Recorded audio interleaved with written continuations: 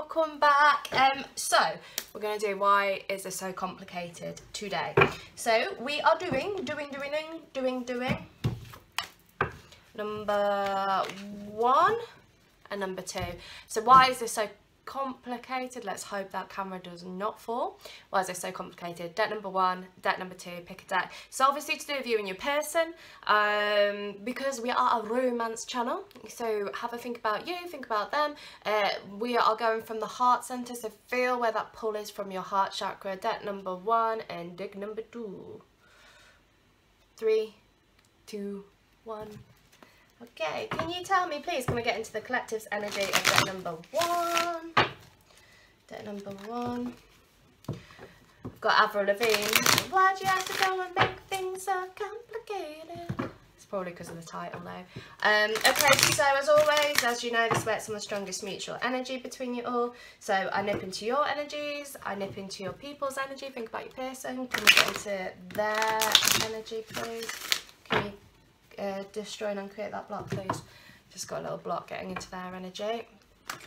Their energy, thanks. Uh, and their thoughts, feelings, energy, emotions, and thought processes. One more. Best out of three, my guide, so shuffling. Okay, can you tell me why this is so complicated? Why is this so complicated? What is the reason? For this being so complicated reasons. So again, it doesn't matter how many decks we use because it works on the strongest mutual energy between you all. And when we work with mutual energies, it's irrelevant of situations because if you do it properly, I know it's a pain to watch the shuffling, but you get your energy in the cards. So it's cool, it's cool. Okay, five. Why is this so complicated? Yeah, what? Okay, right, my guide has just said, can you do me a favour? And I went, yeah, what? And he said, can you tell them all, please, that there's divine intervention at play? So a lot of you that are getting really frustrated with the situation and feel like it's not moving forward, um, again, trust your own intuition. I know I said about this in the last readings and things, trusting about your own clairvoyance, your own images, your own thoughts, your own feelings. But there is more at play here than you are aware of and they know you're frustrated. A lot of them are saying, please don't shout at us. Sorry, but they are. They're saying, please don't shout at us. We're doing the best we can, but there is only so much that we can do before it has to go above our heads and divine intervention has to take play. So my guide is saying, can I please make you all aware that divine intervention is at play with this deck, deck number one. Try not to get frustrated hit your pillow a few times. And now we all shout at our guides. I definitely shout at mine. Um, but obviously I work with them like all the time. Um, but they don't they don't take it to heart or anything like that because they know that we're living a human life. But they do need to make you aware that divine intervention is at play and it's really important that you know that because no matter what space, time um, and restrictions that there are in this 3D element that we're living on and the higher dimensions and the frequencies that, work, that we work with in the higher dimensions, things are at play that you are not fully aware of. And once you do become aware of that, you will become aware of it because it will transpire, they're saying, to the 3D. So please just be aware of that. Okay, so what's happening? Um, why is it so complicated? Firstly, because it is a divine relationship and divine intervention is at play seeing as I got I got stopped in my tracks to tell you all that um, now on a 3d level there's a lot of uh, feelings of kind of entrapment that are happening at the moment. Now it feels actually that it's more you guys that are feeling stuck because nothing's real you don't feel like anything is happening. And because of that you're then getting frustrated because you want it all to be happening in the here and now and it just isn't quite it isn't it isn't doing it. It's not happening at the speed you want it to. So spirit is saying that you need to be aware of patience. Now we have the helix on this card as well. Um, and also these symbols they do kind of remind me a little bit of um, voodoo some of the voodoo symbols, isn't it? Not that I do it, but I was just seeing some of the symbology of it. it that probably isn't voodoo, but it reminds me of it. Um, and it's what they're saying with that is that this is they're going back to the ancient practice of, of um, spiritual stuff and it goes back through time. This relationship is one that's transpired through time after time after time after time, which is why they're showing me the symbology of the symbols. And this helix is in and out, in and out, in and out. Um, and you're feeling like you're heavily burdened and you're feeling very, very stuck by this divine relationship. You've kind of thinking, well, because it's a divine relationship, I can't do anything about it. That's equally not true. Um, you you have your free will. You make your decisions. You make your choices. Um, and so please make sure that you are choosing what is right for you you know if you're not happy in a situation it's always time to kind of reassess it if you're happy go go forward and multiply or whatever but if you're not happy then it's really time to reconsider what you want because you are the own person in charge of your own life and whether it's a divine connection or not you are in charge of that now people that say if you're intimate with someone else it pauses it are talking a load of rubbish okay? That's not true that's not true. It might be that it's a karmic partner that comes into your life, but even so, it doesn't matter because you've got free will and the outcome will still be the same um, if it's destined to be, you know, like you, like I say to you, you have certain things that are predestined. So for example, if you're going to be together and have a marriage and things like that, but who you marry, when you marry them, etc, etc, is all down to you. So don't let the fact that it's a divine, like a divine relationship secure into place, you know? You can go and have a divine, like a, a soulmate relationship or a karmic relationship or date away if that is what you want. I wouldn't recommend getting a karmic. I wouldn't manifest one of them because they, they're always a bit painful. But um, don't let that secure you into place and make you feel stuck. Okay, because a lot of you are also kind of over researching it you know, you're thinking, right, twin flame, research, research, research, and you're, you're, everything you're reading, you're taking on as fact. But a lot of it is um, Spirit saying it's interpreted by human beings, it's interpreted by us and how we see things. Um, yes, a lot of it will be accurate, but a lot of it um, is people's points of view and opinions on it, and that is then securing you into place and thinking, oh, well, we're going to be together because all twin, twin flames are meant to be together.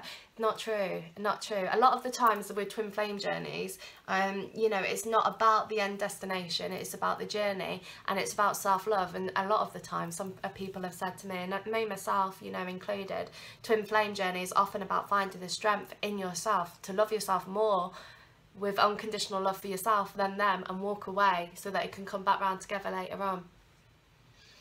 Myself included.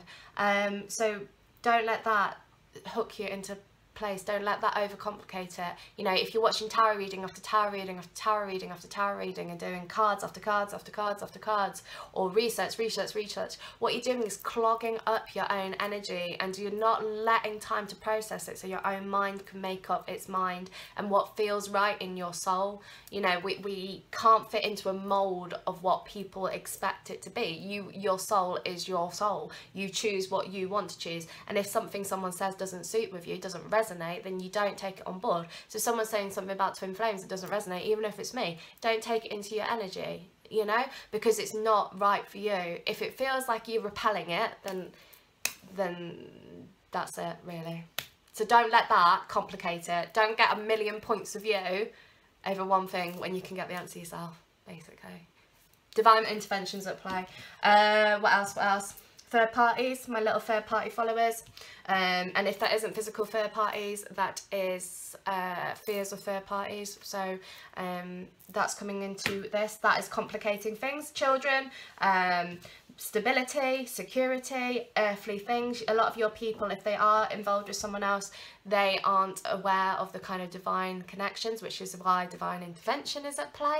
Um, so they're kind of taking a step back from that energy. They'll be focusing they'll be focusing on this with kids uh, a lot of kids or for the stability and security. It isn't to do with the person they are with. Don't put energy on the person that they are with because if you do that you're manifesting them. Take that energy back to you and them from the process of unconditional love for this relationship to move forward and get them back or get them to you okay? That will automatically complicate things on a 3d level it will, it will. So um, no stress, no drama, just take away from that, you know, focus on unconditional love. Um, what else is interfering with that? The conflicting energies about them working out what they want.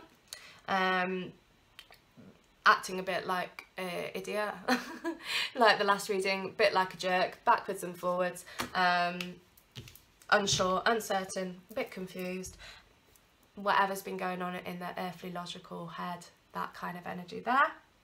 What else is complicating it? The fact that they've got this conflicting energy and then the other side, they want new beginnings and happiness with you. So this is complicating it as well. This is just the muddle up within their head, within their brain, the two sides of it, the fear side, the love side, the repelling magnets, um, universal energies as well overcomplicating it. A lot of you are overthinking the situation. Um, you're adding two and two and making 30 without knowing facts don't let your imagination go crazy on you. Now, I know I say about um, picking out what's imagination, what's clairvoyance, etc, etc. But if you're just trusting your imagination with it, you're going to add two and two and make 30, especially when you're alone. Um, at night time, if it's quiet, that's our period of weakness, isn't it? That's when you're like, oh, I want to text you, I want to call you, I want to do this, I want to do that. No, no, no, no, no, no. Stick in your power, okay? Don't overthink it. Unless you know it as facts, don't uh, create facts of your own because that will complicate it as well. And, you know, and that will then frustrate spirit as well like they were saying because they're trying to talk to you trying to give you the answers that you need and, and you get them and you settle down. And the next minute later you're like oh but why did he do this? And why did they say that? And what sorry lads I always do that. Why did they say this? Why did they act like that? Blah blah blah blah blah. And we and we start going and we're going and the next thing you know we're like well they, they could be running away and getting married at Gretna Green and everything like Gretna Green's a place in uh, in England where people elope to to get married they used to anyway back in the Victorian days um, okay, I went off on one then. But that's overcomplicating it as well, your thought process and overthinking and the need for self-protect, trying to self-protect it, trying to self-protect the relationship. Don't be frightened about people's opinions on it. They are just people's points of view. If you're worried about telling your best mates and things like that, don't don't don't tell them as much as what you feel you should. Don't overcomplicate it. I know it's hard and I know you want to talk to people about it. A lot of the time when we're talking about it, we're kind of pressing pause on it as well because we talk about it in a negative light because especially, especially as women, and I'm not being gender uh, typical or stereotypical, I'm not being that, but as women or female energies, we talk about things okay, to, to get them off our chest. Um, and that isn't just us, that's the, the males of you that are female energies, etc, etc. We talk about things um, and the opposite side of this spectrum is they process things, they retreat to process. Now that's just psychological stuff. That isn't, um, th that's the psychological differences between the male and female energies. Um, so when we talk about things, what we end up doing is kind of pressing pause on it because we start talking about it in a negative light because we don't want to sit there and tell our mates, well, you know, I love him and I think he's wonderful for treating me the way he has and because we don't. So just be aware when we talk, you talk about it to kind of simplify it a little bit.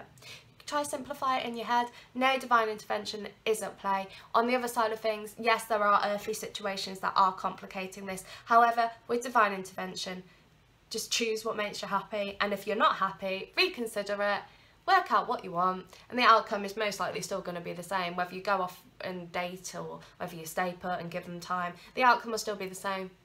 So just choose what makes you happy. Don't overcomplicate it. Debt number one why is it complicated? Because it's divine and you're overcomplicating it yourselves. Oh bush. Okay let's do debt number two. I've only used this deck once before in that other reading I haven't used them yet Okay, let's go, let's go. Can you get me? So, as always, we're working. I'm going to have to do it this way. These are huge. The difference in size. Um, okay, can you get me into my deck number two's energy, please? So, as always, we'll work on the strongest mutual energy between you all.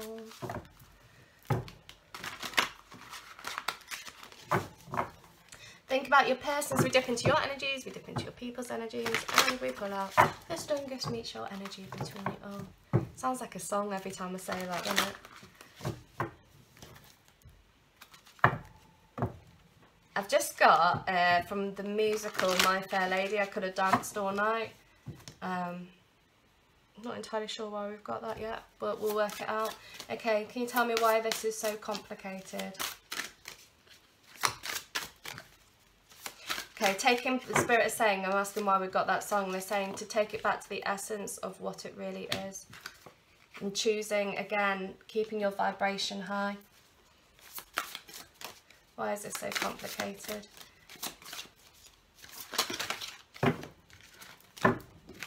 Seven, um, three, four,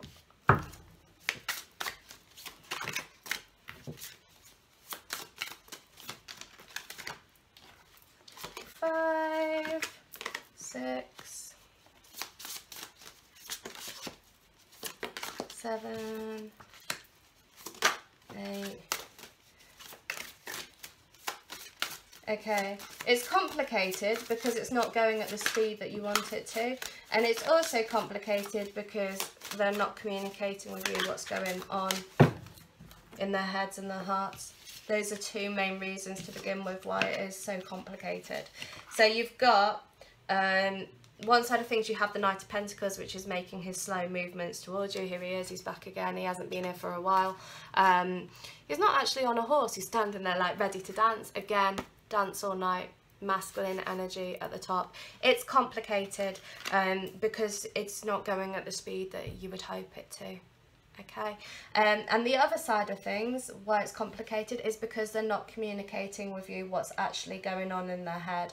So you've got the five of pentacles and the page of swords. So they and the seven of swords as well. So this is them not being honest with you about what's actually thinking what they're actually feeling. Uh, some of them are turning their back on you holding on to heartbreak and also holding on to not making a choice. You're in the background wanting partnerships wanting to find relationships or relationships as a whole and that you feel that they've turned your back on you.